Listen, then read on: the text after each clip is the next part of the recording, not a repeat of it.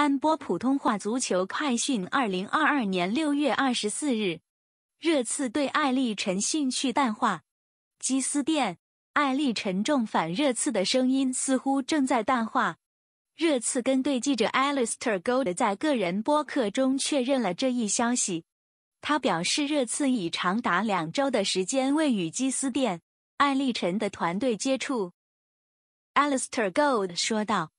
我认为这看起来并不明智，但根据我听到的所有消息来看，就像我之前和外界说的那样，热刺看起来正在冷却对基斯甸、艾利臣的兴趣。据我所知，上次热刺和基斯甸、艾利臣的团队进行接触还是两周前的事情。自那之后，双方再未联系。热刺方面正在逐渐远离关于基斯甸。艾利臣的讨论，看看接下来会发生什么。热刺疏远基斯甸，艾利臣的动向非常明显，所以一定发生了什么事情才改变了球队高层的想法。